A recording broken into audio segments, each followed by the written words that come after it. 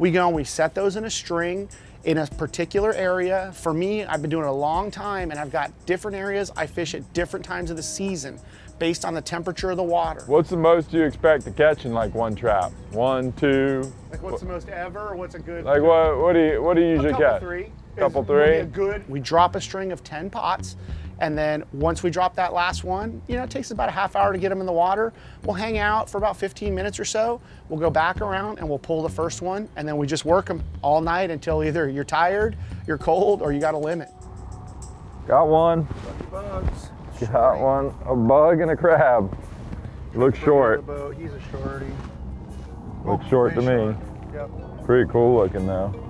Pretty much like yours, just all red, Just right? different coloration. But I mean, the build of them and everything.